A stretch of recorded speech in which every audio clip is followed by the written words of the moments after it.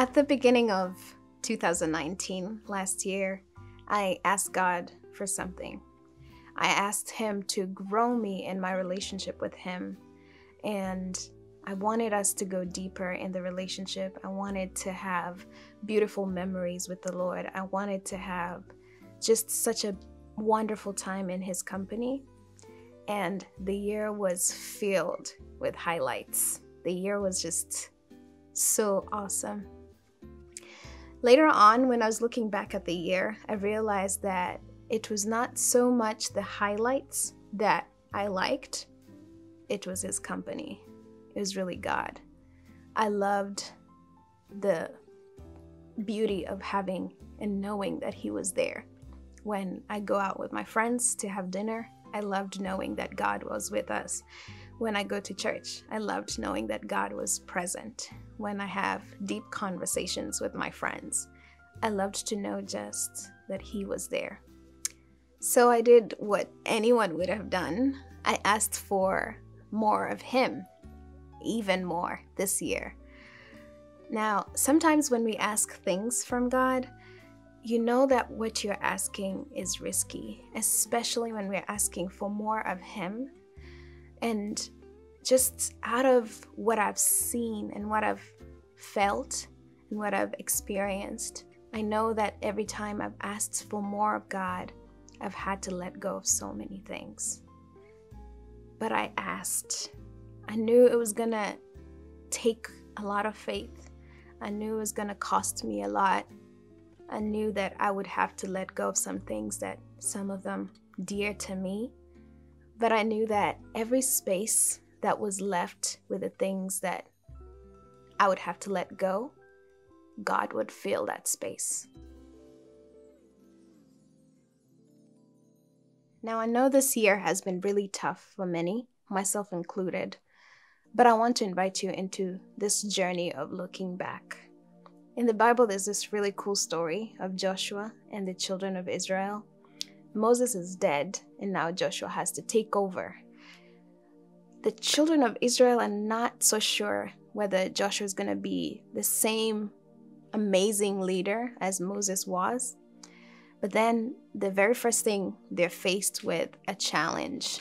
They have to go across the river Jordan so God does this, God performs this amazing miracle, splits the sea, and the children of Israel cross the river to the other side. Now, the story doesn't stop there, but what comes after is the part that I really like. They build a memorial. They're instructed by the Lord to put together 12 stones, each representing a tribe of Israel. And this memorial is going to serve as a testimony for the upcoming generations. This year has been something like what Joshua went through. It's been rough. I mean, it's like every corner of our lives have been disturbed. But you know what? We are still here. We're still here. We have made it this far. We have grown. We've faced numerous challenges that have sharpened us. And trust me, we're coming out of this year as different people. At the end of it all, I realized that strangely, I really needed God to come into the areas of my life that have been disturbed because He planted new things. He has equipped us with wisdom and knowledge that only He can give, and He has yet proven Himself faithful. So, just like Joshua and the Israelites, I want to build a memorial right here on this channel as I look back at what God has done for us this year. I enter this year grieving the loss of my father. Then we land into the country from the burial, and shortly after, a lockdown. This was a really tough time for me. We were just landing back in the United States from Kenya after the burial, and then shortly after, a lockdown.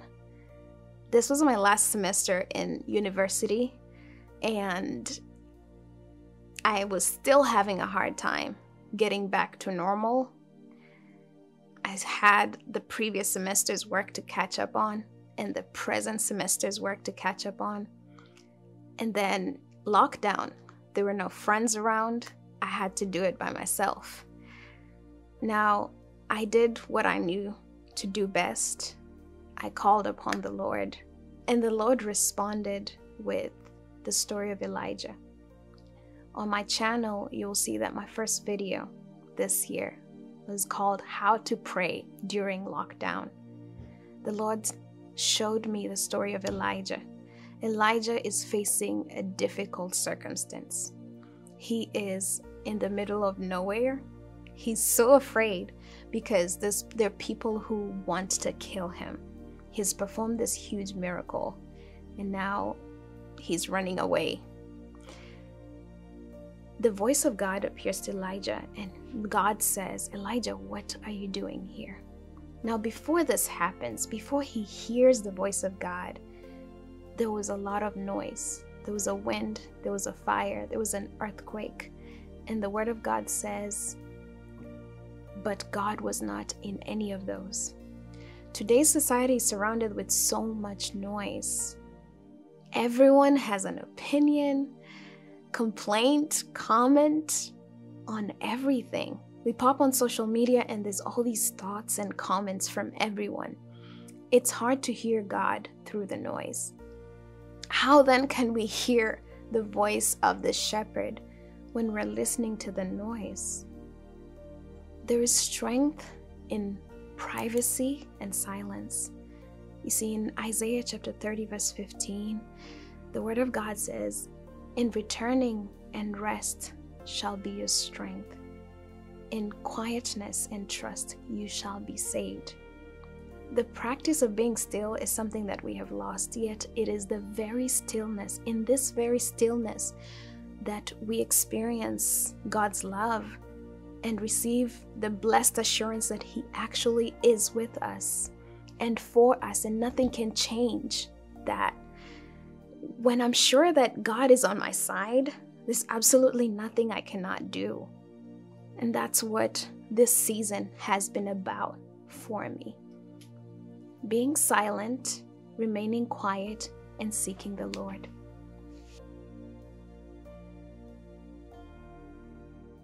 During my father's um, burial season, I found myself in this strange place and I asked God so many questions. I felt like I had come to this place where I had to decide whether I wanted my will to happen or God's will.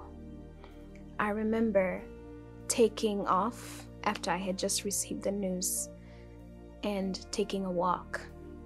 And I came to this place in the park and I was walking and I was praying to God and saying, God, I need you to help me because I have this much hope left.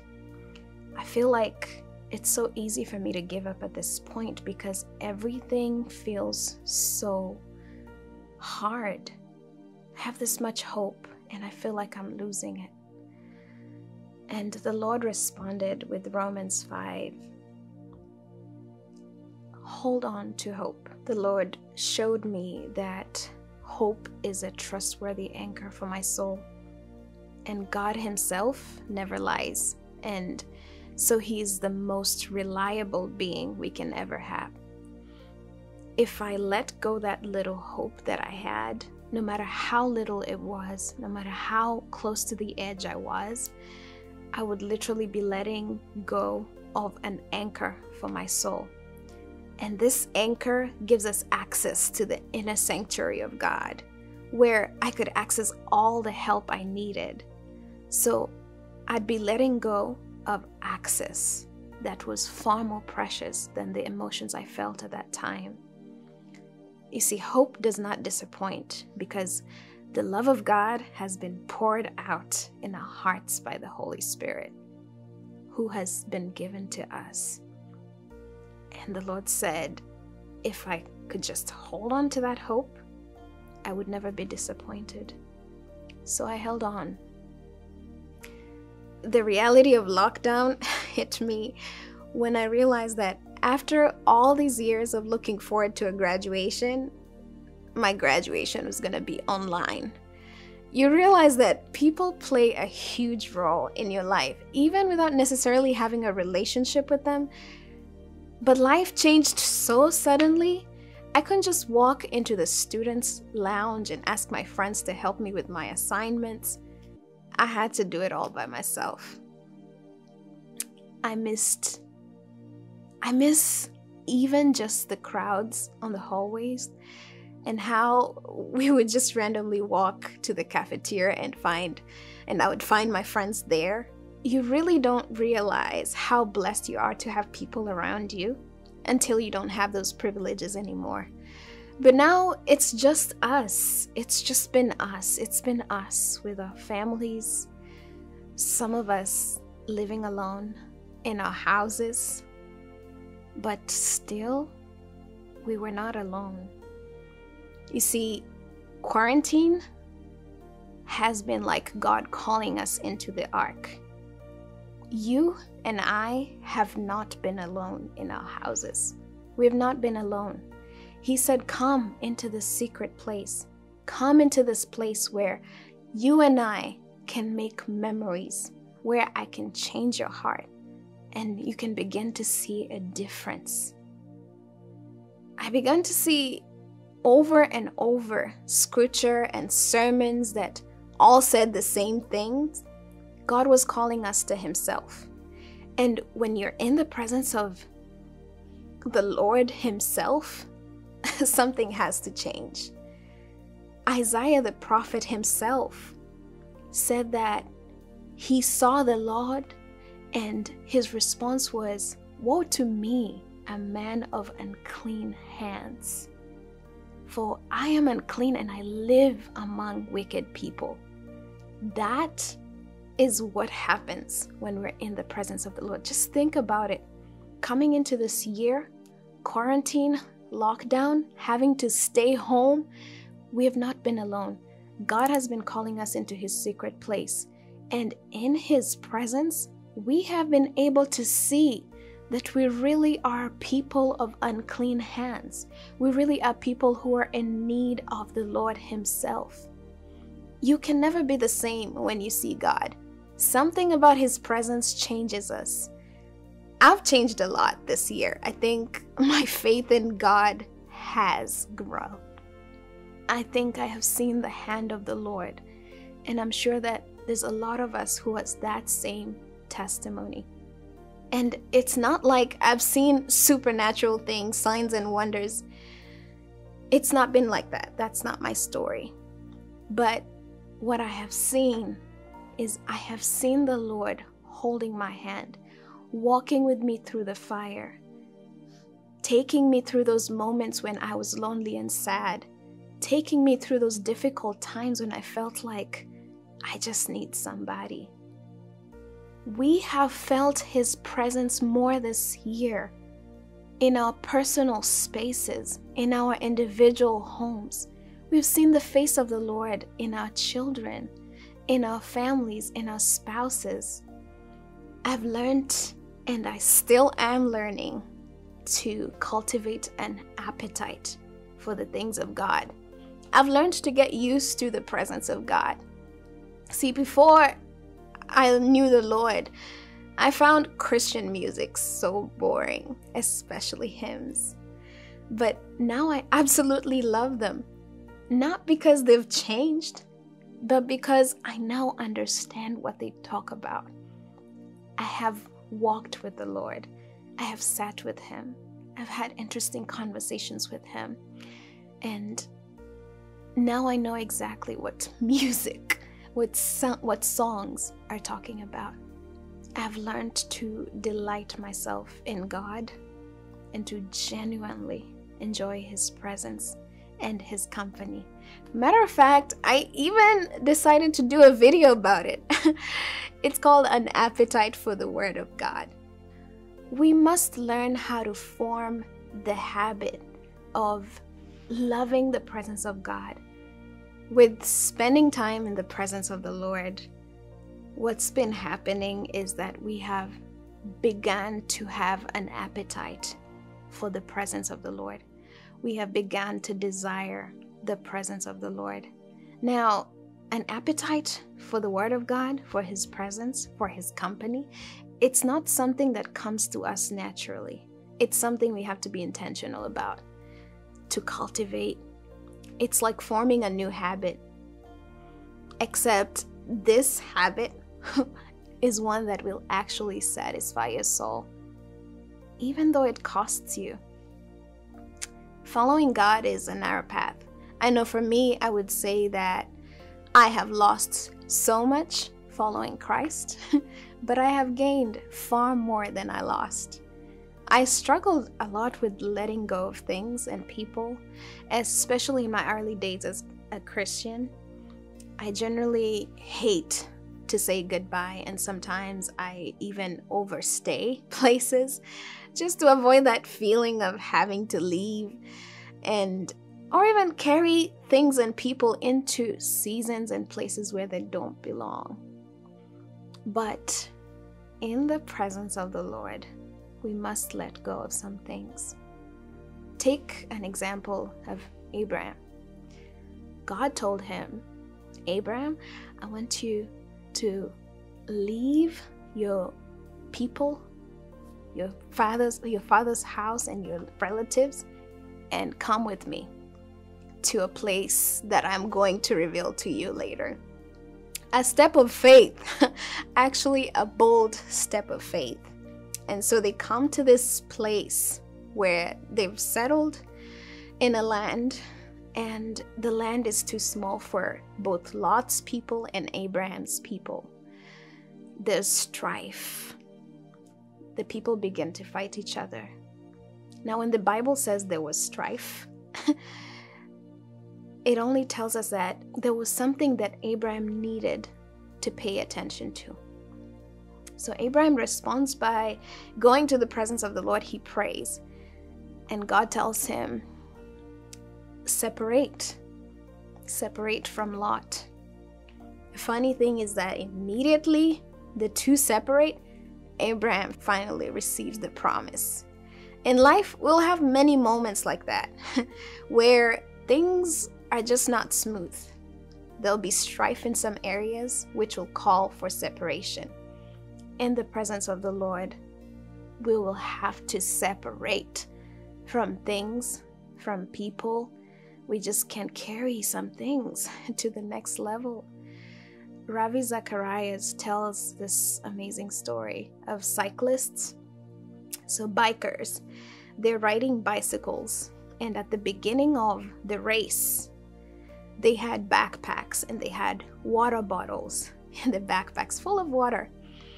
And he observed that at a specific place during the race, each biker would do the same thing. They would reach to their backpacks and take everything that weighed them down. In that very place, they could see the end of the race right before them. And so they took bottles, threw them out, anything that would weigh them. That's the same thing we need to do. That if we set our minds to the end of this journey, to eternity, we must remove anything that is weighing us down, anything that is keeping us from running this race in full course, in full force. Sometimes separation is necessary so that we can reach where God wants to take us and see the way before us. I've really asked myself hard questions in this season. Do I really love God? What is the gospel? What do I want to do with my life? What's the most important thing I should do at this point of my life? Think about it during this pandemic, we could really die at any point. but by God's grace, we have made it this far. Jesus asked Peter, Peter, do you love me? And Peter was so sure. And he told him, You know, I love you. He asked him again and again. And Peter said, Yeah, I do love you, Jesus. Yet, this very same Peter was the person who was first to deny Jesus. at the face of adversity. I'm just like Peter. I am weak. Sometimes I could say, Lord, I really love you. And then the next moment, I act like I don't know my shepherd, like sheep without a shepherd. This year has shown us how weak we are, how we're really not in control, how this whole earth is the Lord's footstool, how He is sovereign over all. And no matter what, He has still kept us and embraced us and how broken we are. And He is still pursuing us even now. I think looking back, I'm actually grateful for all that I have lost because wherever something left in my life, God filled that space, and oh, what joy it is to be close to the Lord. In Him is everything we need. Maybe that's what this pandemic has taught us that our delight really comes from God, that everything we enjoy in this life, whether family or travel or good food and music, is really a gift from Him. And we have learned that we're not humans who are depraved of love, but there's love at home. We have learned that we may have everything today and lose it all tomorrow, just like that, but we can hold on to God. He is a sure anchor.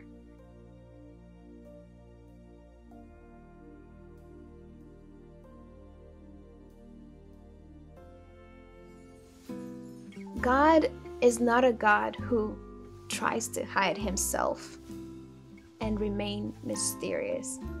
He's a God who is revealing himself. He wants to be known and to be known by us. The Lord has been revealing himself on this channel all throughout the year. And I'm so grateful for all of you who have been liking, commenting, subscribing, and watching these videos consistently. Now I know and I'm hopeful that He will continue to be faithful and He will continue to speak on this platform next year and the years to come. That His name may be glorified, that His name may be lifted and known all over the earth. If this is your first time watching, welcome. On this channel, we share testimonies, the Word of God, and godly inspiration. Remember to subscribe, tell a friend to tell a friend, and Merry Christmas and Happy Holidays.